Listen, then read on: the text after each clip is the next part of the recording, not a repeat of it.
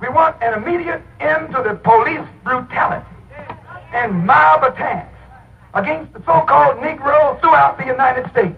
Yes, a complete end to the police brutality and mob attacks that our people are confronted by every single day, every single week, every single month, every single year across the land.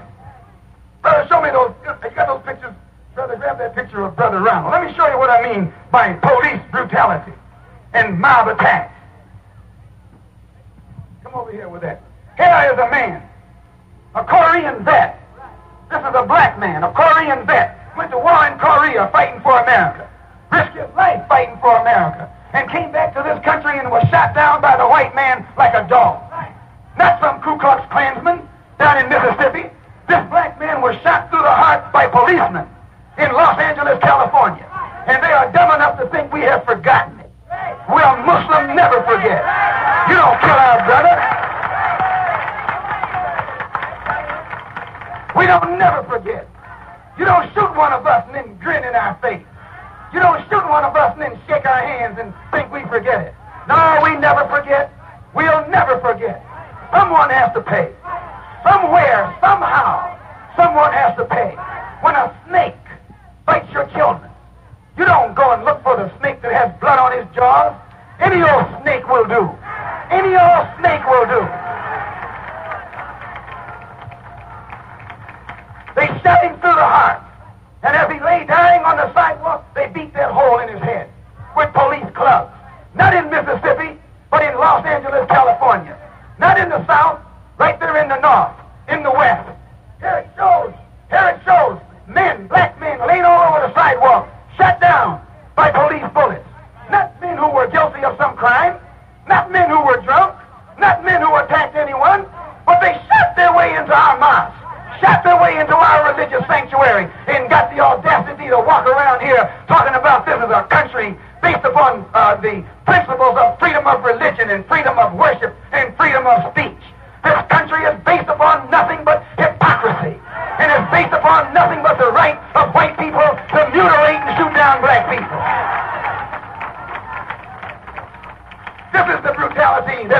talking about. This is the crime that we're talking about. And you say we teach hate. What kind of hate are we teaching? We're telling you what happens to black people. And this man didn't get shot down because he was a Muslim. They didn't ask him what his religion was. They saw that he was black and they began to fire point blank. And then when they went to court, these Gestapo, they were the criminals. They didn't go to court. They charged him. He's a dead man. And they charged him with a crime. These here, shut down, were charged with a crime and you haven't heard anybody open their mouth about it. You wonder why you're having trouble in this country.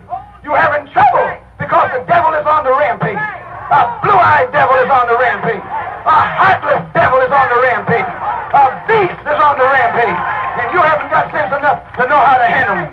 So, so we don't try and handle him. God is going to handle him. We ask God to give him justice. We ask God to trap him. We ask God to catch him. We ask God to deal with him. And we pray that God deals with more of them day after day. Right. And what ones God don't get, we'll get them.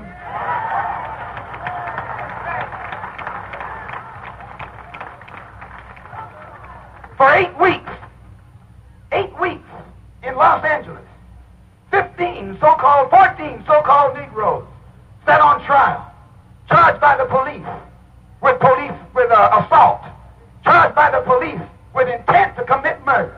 You haven't read anything about it in the paper. You haven't seen anything about it and heard anything about it from these blue-eyed white so-called liberals. They quieted it down. They hushed it up. And none of the Negro leaders opened up their mouths during the trial. They were silent while they had a rally of 35,000 Negroes in uh, one of those state, Wrigley Field in Los Angeles, while the all-white jury was in session. And not one of them came forth and mentioned what had happened to those 14 Negroes in that, in that city. And they wonder why things are developing to what they are today. No, you don't get justice in court.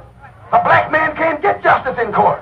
A black man can't get justice in the court system of America. And I'm telling you, the only way you get justice is in the street. The only way you get justice is in the sidewalk. The only way you get justice is when you make justice for yourself. You never will get justice in the white man's court. No, not me. I never want him to take me to court. I saw what he did with my brothers. I see what he has done with them right here in New York City. So make sure you obey the law. Make sure you never commit a crime. Make sure you never de- deviate from the law. But any time one of them puts his hands on you, take him off the planet. Take him off the planet.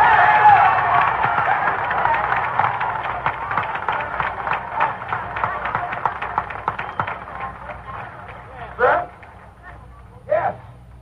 They're going to have a funeral in Harlem. Make sure they have a funeral downtown, too. Two funerals at the same time. We want peace. We want justice. We want respect. We want to carry ourselves with dignity.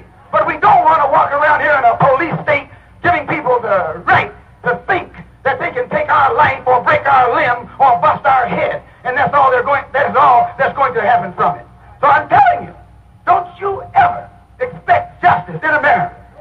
Tell you that if the man locked me up in the morning, don't expect any justice.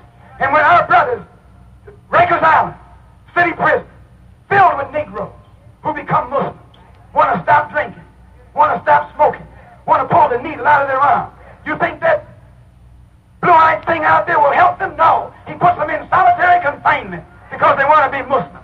I'm telling you what Mayor Wagner does and what Governor Rockefeller does. That they're a race of devils. That God will strike them. Put death in their family, death on their relatives, and death on their friends. I pray that God will bring that on them.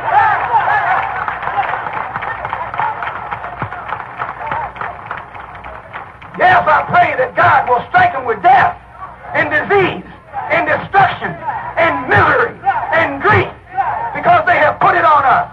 And when God gives it to them, no one can say that God is unjust. God is just.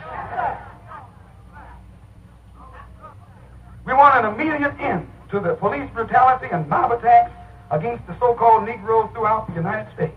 We believe that the federal government should intercede to see that black men and women tried in white courts receive justice in accordance with the law of the land, or allow us to build a new nation for ourselves